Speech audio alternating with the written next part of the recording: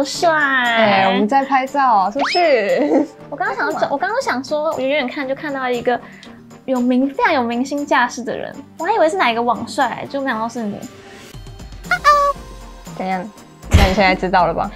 对啊，你们今天是在拍什么啊？我们在拍就是等下 Photoshop 后置教学的一些素材啊。你猜猜看要拍什么？看你这一身打扮，你是要拍你要去打架是不是？好符合你哦，发现符合我。你是眼瞎，这怎么看都不像要去打架吧？我们是要拍 glitch 效果的东西。glitch 效果，嗯，这不是就是最近蛮流行的 cyberpunk 的风格嘛？就是有种杂讯干扰的感觉，这会不会很难啊？不会啊，只要跟着我们的步骤做，也可以很简单的就做出这样的效果。那我们就去后置阶段吧。哎，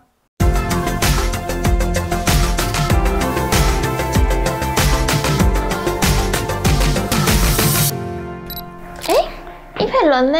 我们都已经要拍片了，没出现啊？算了，我打给他好了。喂，一佩，你在哪？我们今天开始开拍片嘞。哦，我正在赶路啦，不然你帮我用时空遥控器把我传送过去好了。哦，好啦。哦，外面热死了，还好你直接帮我传过来。你很夸张哎，快点进入那个啦，教学了啦。好了，那在影片开始前，不要忘记订阅我们的频道，并且开启小铃铛，就不会错过更多精彩的影片哦。那我们这期的教学有以下几个重点。一、认识选取工具；二、用波形效果的滤镜做出讯号干扰；三、合并所有可见图层后，用色板做出 RGB 色彩错位的效果。好，那我们就拿刚刚拍好的照片来进行修图吧。你说你自己的照片不会很尴尬哦？好，我们继续。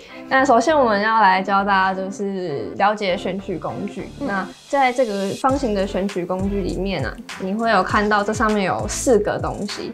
那这四个东西分别代表着就是单次选取。你在选取一个东西后，如果你要呃选这个位置你可能不喜欢，你要换另外一个位置选，你直接这样选，刚刚那个东西就会不见。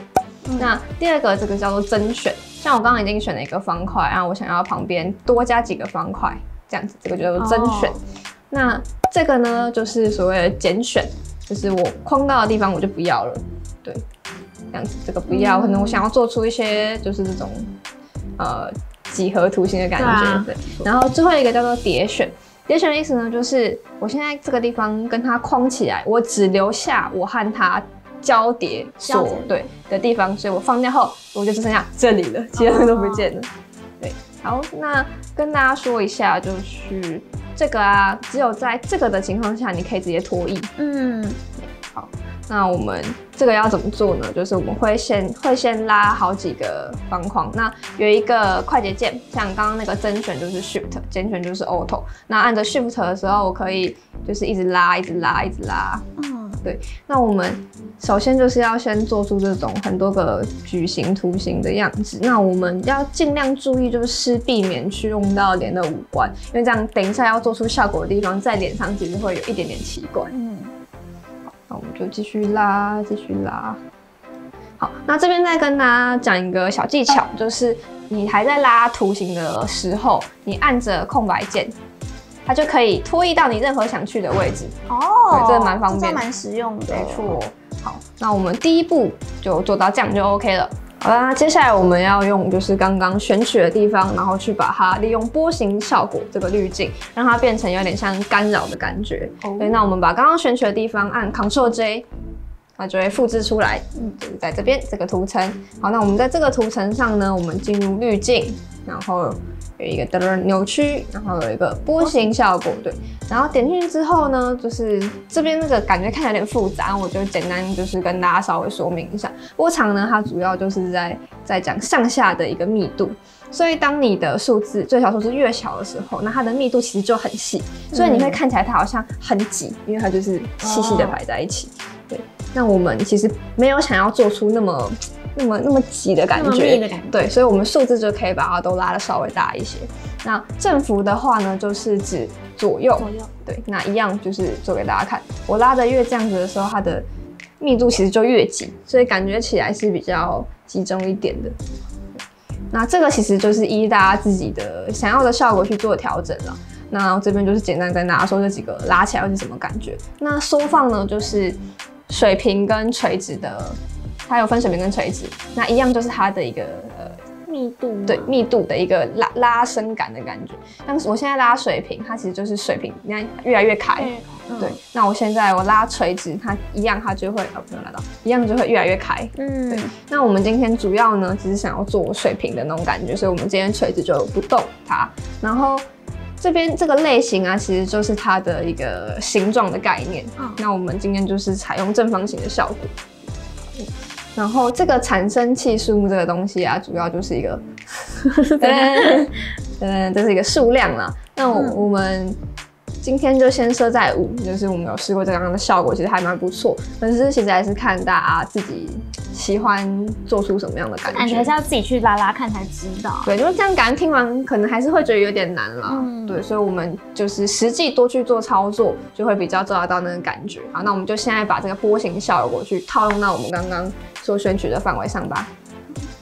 好，那经过就是套用后，我们就现在得到了这种干扰的效果。嗯，那是不是觉得还少了感什么？觉就只是破图的感觉啊，没有那种电子干扰的感觉。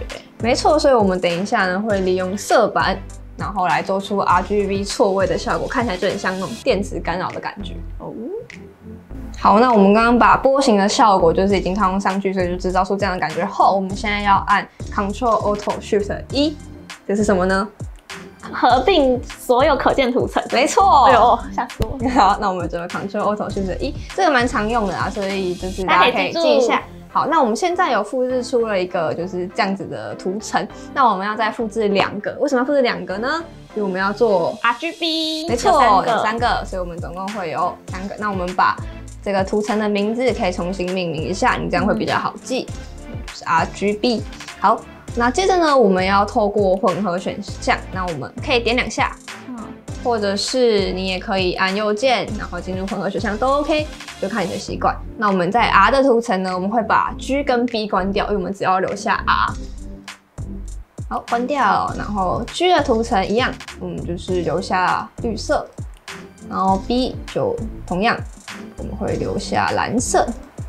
嗯你做了那么多，就根本没变啊！你在耍我是不是？对，没有，我们接下来要来施魔法喽。那我们在 R 的图层的时候，我们先按 Ctrl T，它就会选起来之后，看好喽，我只要按左，哒哒哒哒哒哒，有没有？对耶，好，然后我们接下来进入 T，我们可以让它往反方向移动，你可以加一点点，对 G，加一点点，这样就可以做出蛮厉害的效果。那其实这个方向跟你要移动多少，这个你都可以再自己试看看，看怎么样的效果你比较喜欢。蛮有 feel 对的。，那我们一样在 B 的图层，好，我这边就给它加一点下。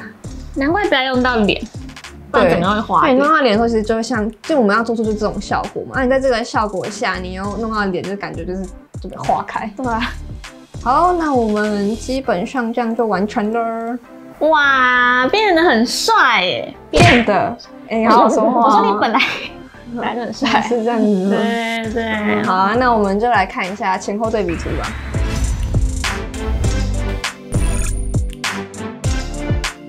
看完之后啊，我觉得这个非常有电影海报的感觉耶。嗯，这也是近几年来蛮流行的那种 cyberpunk 的风格。